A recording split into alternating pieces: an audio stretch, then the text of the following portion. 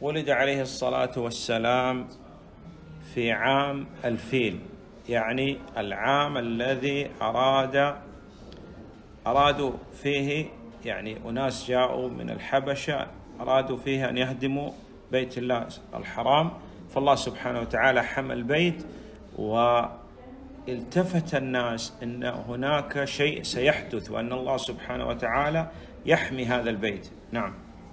пайғамбарымыз саллаллаху алейхи уассалам піл жылында дүниеге келді яғни яманнан келген хабашилердің әмірі меккеге шабуыл жасап қағбаны бұзам деген әскерді аллах тағала өзі жойып және сол кезде адамдар әлде бір ұлы нәрсе болатындығына көңіл бұрды абуху абдулла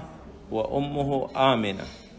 оның әкесі абдуллах және анасы амина ولد من زواج صحيح ол дұрыс некеден туылды ينتسب إلى إبراهيم الخليل عليه السلام من أبناء إسماعيل ابن إبراهيم عليهما وعلى نبيهم أفضل الصلاة والسلام оның шыққан тегі ибрахим алейхисаламға дейін жалғасады және ол ибрахим алейхисаламның исмаил алейхисалам баласының ұрпағынан ولد بمكة ол мекке қаласында дүниеге келді وهاجر إلى المدينة және ол медина қаласына хижрет жасады және қоныс аударды ومات بها مات بالمدينة عليه الصلاة والسلام әрі ол мәдина қаласында қайтыс болды